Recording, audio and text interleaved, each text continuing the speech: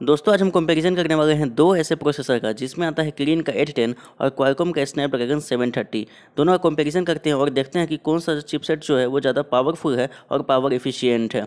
और ये भी बताएँगे कि ये प्रोसेसर आपको किन किन से फ़ोन में देखने को मिल सकते हैं फ्यूचर में। तो चलिए दोस्तों, इसी के साथ हम वीडियो को शुरू करते हैं।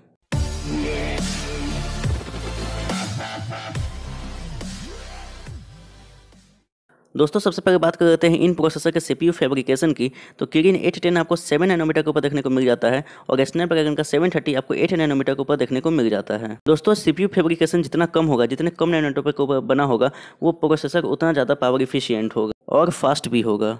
इसके बाद बात कर लेते हैं सीपीयू की। तो आपको इसमें दो core Cortex A seventy six based मिलते हैं, जिसकी speed two point two two seven giga है। और छः कोर्स आपको Cortex A fifty five based मिलते हैं, जिसकी speed one point eight giga hertz देखने को मिल जाती है। आगे बात कर लेते हैं स्नैपड्रैगन सेवन थर्टी की तो इसमें आपको दो core Cortex A seventy six based मिलते हैं, जिसकी speed two point two giga hertz है, और छः कोर्स आपको Cortex A fifty five based मिलते हैं, जिसकी speed one point eight giga hertz है। दोस्तों, इन दोनों प्रोसेसर में कोई भी ज़्यादा फ़र्क नहीं है। दोनों की स्पीड आपको सेम देखने को मिल जाती है। बट आप बेंचमार्क स्कोर देखेंगे तो आपको एलेवन परसेंट सिंगल कोर की परसेंट आपको स्पीड ज़्यादा मिल जाएगी और थर्टीन परसेंट मल्टी कोर की स्पीड आपको ज़्यादा देखने को मिल जाती है।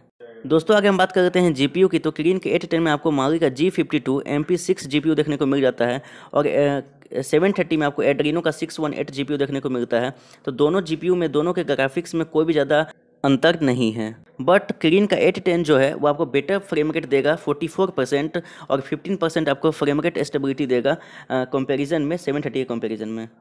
एन आपको क्रीन के एट टेन में हुआवे डी वेंसी आपको देखने को मिल जाता है और स्नैपड्रैगन के सेवन थर्टी में आपको N P U one twenty देखने को मिल जाता है, जो कि काफ़ी अच्छी बात है।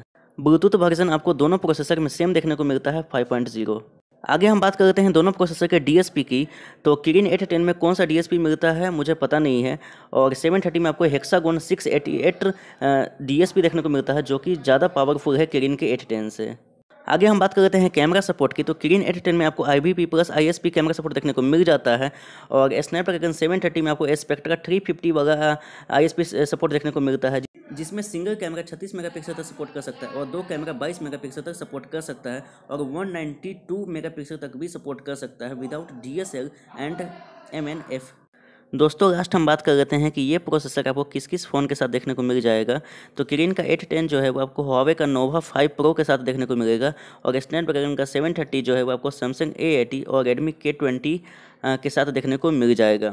दोस्तों, आप कमेंट करके बताइए कि ये प्रोसेसर कंपैरिजन आपको कैसा लगा। अगर ये वीडियो आपको अच्छा लगता है तो इस वीडियो को लाइक कीजिए और हमारे चैनल को सब्सक्राइब कीजिए और बगल में दिया गया बेल आइकन को भी क्लिक कर लीजिए, जिससे हमारी नोटिफिकेशन आपको सबसे पहले देखने को मिल जाए। हम आपसे मिलते हैं नेक्स्ट वीडियो में एक दूसरे वीडियो के साथ। तब तक लिए गुड बाय